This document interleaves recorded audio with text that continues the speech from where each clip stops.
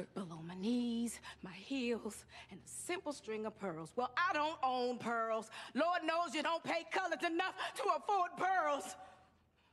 And I work like a dog day and night, living off of coffee from